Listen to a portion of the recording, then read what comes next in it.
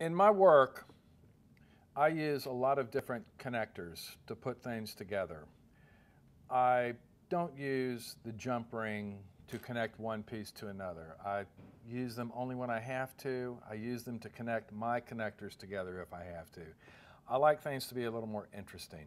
So I'm going to show you how to make three connectors that all are versatile and you can use them in different ways. I'm going to start with a piece of 18 gauge wire and I'm going to make all three of them out of this piece of one piece of 18 gauge wire.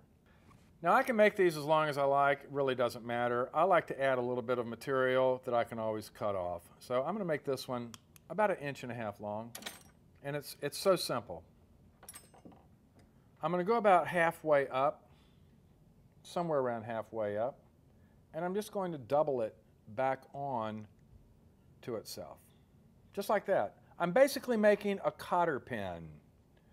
I'll now take my pliers and I'll go up here to the top. Not all the way to the top. I want to create an eye. So I drop down and I squeeze them together. A little bit closer. Just about like that. So I have a cotter pin, right?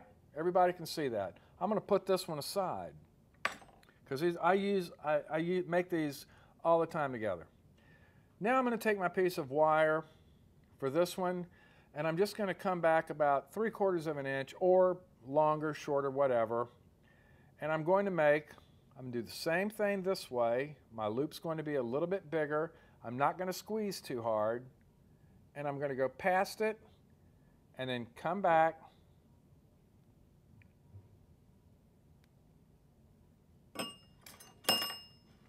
and I'm going to snip it. So now I've got these two. I'll do these two first. I'm going to take a piece of lightweight tubing.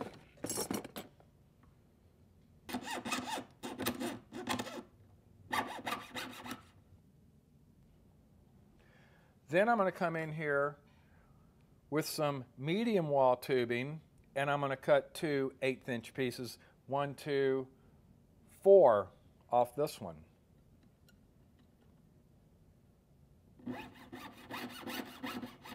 This is the kind of stuff that's going to set your work apart.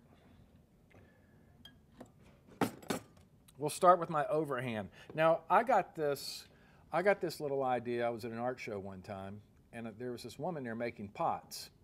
And this is strictly a little clay that was run out of a pug mill, just a little round piece of clay that she would just attach to the lid of a pot. You've seen it everywhere. I just did a variation on it. I take that, now that it's bent, and I put a piece of tubing on one end.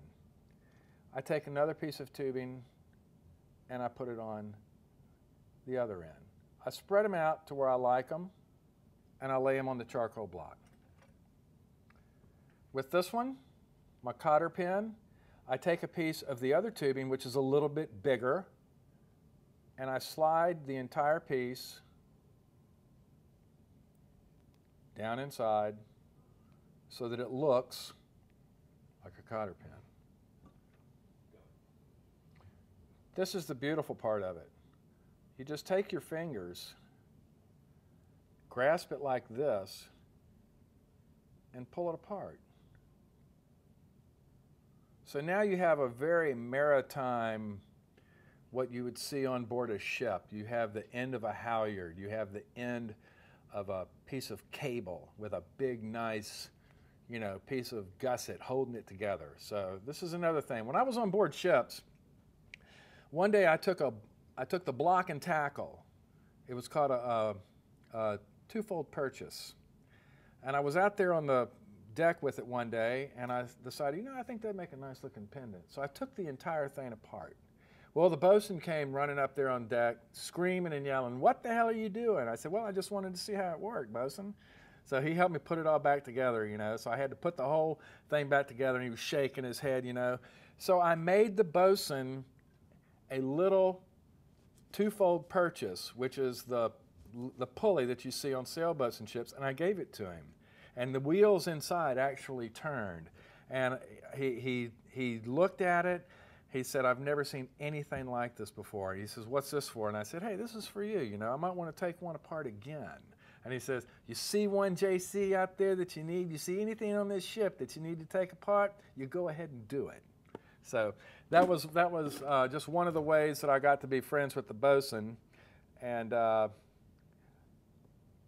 going to sea and working on those ships just gave me so many ideas because everything on a ship is a connection. Everything is there for a purpose.